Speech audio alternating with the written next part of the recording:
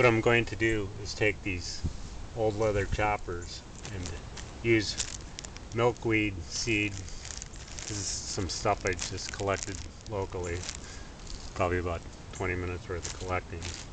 And I take these seeds and it's supposedly as good an insulator as goose down. So I'm going to take seeds, I'm going to stuff them inside the gloves as a uh, insulating material.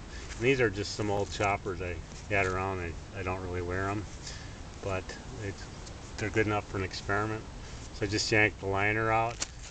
And on this one, already cut it. So that's my access to stuff the uh, the liner here with uh, these milkweed seeds.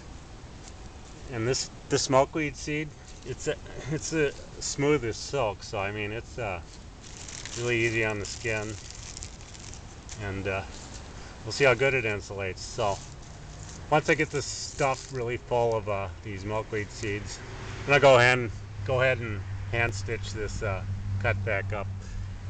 And I don't really know any fancy sewing, so just stick with a simple hand stitch. So, but uh, so that's the plan. Stuff both of these gloves with the, the milkweed seed and just see how well it insulates this winter.